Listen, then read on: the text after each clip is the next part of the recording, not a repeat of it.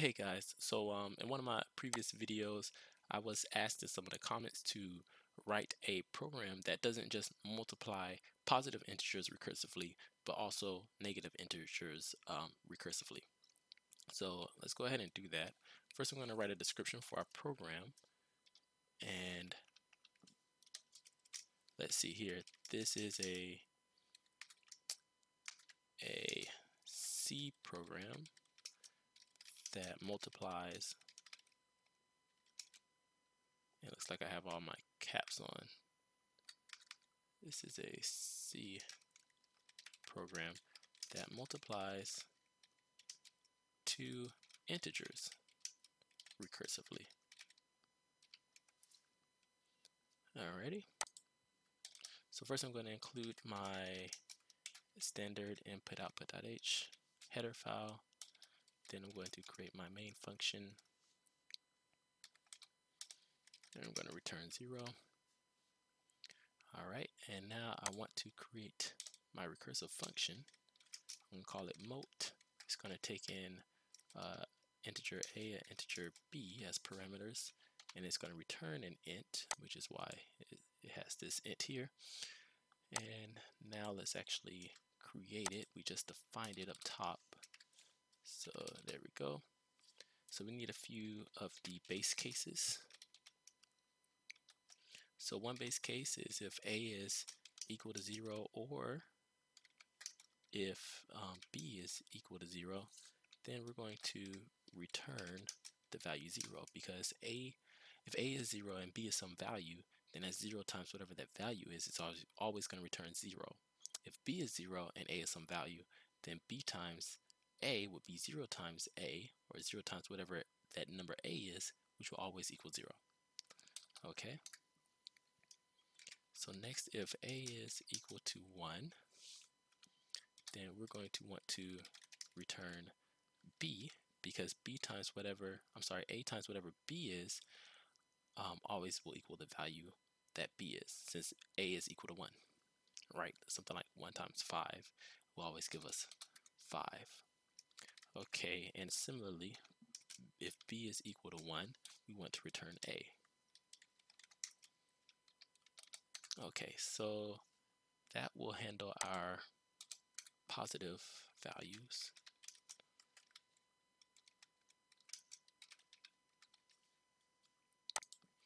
Okay, so now what if a is equal to negative 1, then we want to return the negative value of the number that is being multiplied by.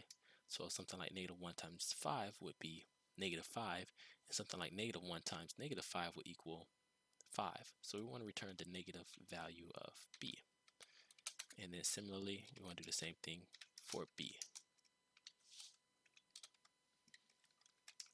So return negative a. And I didn't put, I didn't spell return right here properly. Okay. So this right here handles the negative values. Okay, now we need our recursive case. And let's see. So we need if if a is greater than 0 and b is greater than 0,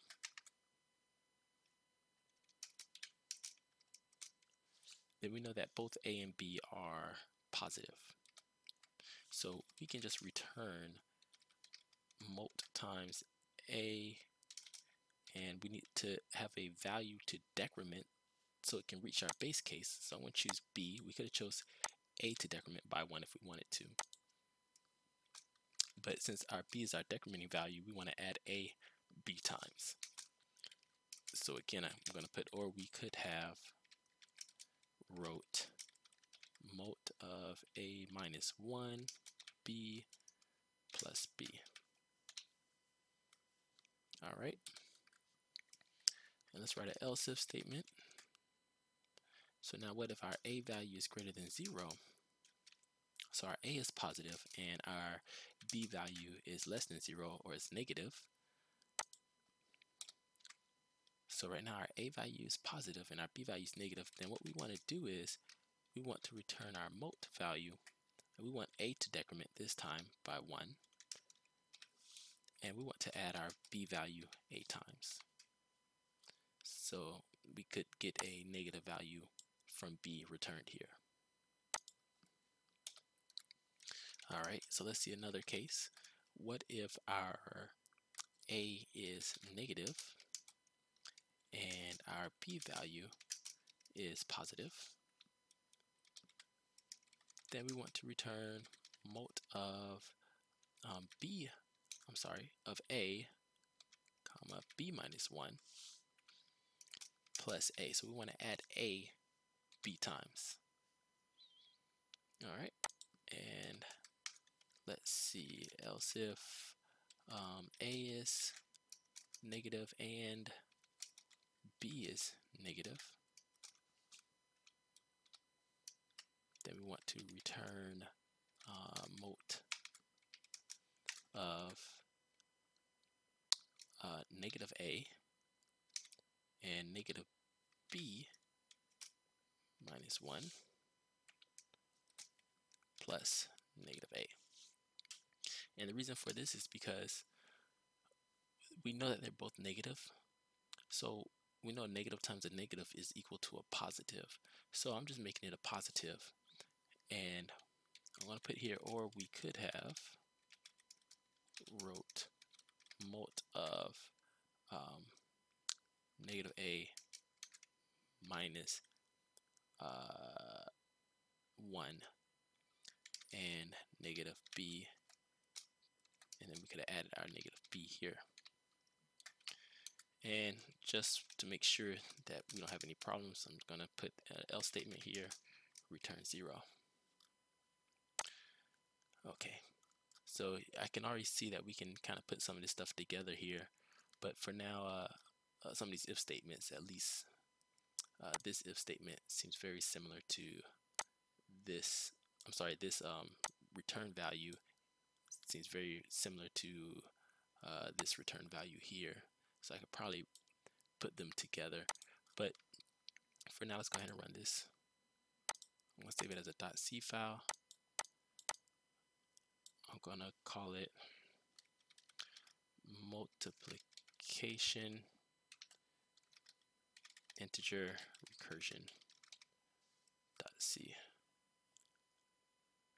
Okay, so let's go ahead and run it.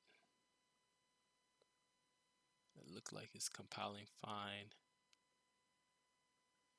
Okay, so perfect. So it compiled fine. So now what we need to do is we need to create our integer values a and b. So I'm going to say a is negative 3. I'm going to say b is equal to negative, uh, 5. And we're going to have our answer. It's going to be equal to our multiplication function. And we're going to take an a and b. And then I'm going to do a print statement. I'm going to say percent %d times, or negative 3 times uh, negative 5 is going to be equal to, it should be 15. And then create a new line. And let's see, A, B, and then answer. And let's see what we get this time. So negative 3 times negative 5 is 15 like we want it. Let's try B being a positive number, a is negative. So we get negative 3 times 5 is equal to negative 15, which is true. All right. Let's make a our positive and b our negative. And we get 3 times negative 5 is equal to negative 15. And then, of course, we have to try our two positives. And we get 3 times 5 is equal to 15. All right. Um, so uh, like I said, I noticed that we could probably change some of this here, and I'm actually going to do that. Uh, I think what we could do instead of using that recursive case is going to save us a few lines of code. So I'll rewrite it, recursive case. We can put uh, this if statement with this if statement, but we'll have to include some libraries here. So we're going to include stdlib.h And this right here will give us the absolute value function that I will need to use. All right, so let's say if, and in here we're gonna say if uh, A and B are positive, or if A and B are negative, then we're going to return this, but I want the absolute value.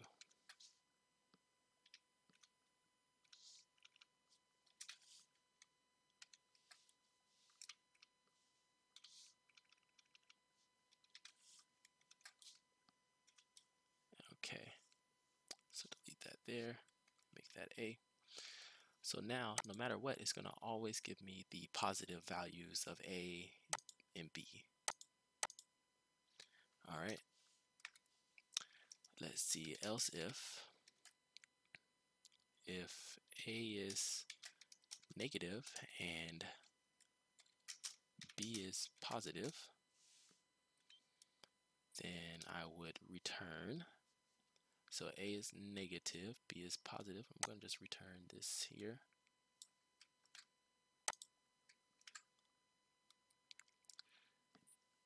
And else, the else statement is basically saying um, that B is a negative number and A is a positive number. So this right here.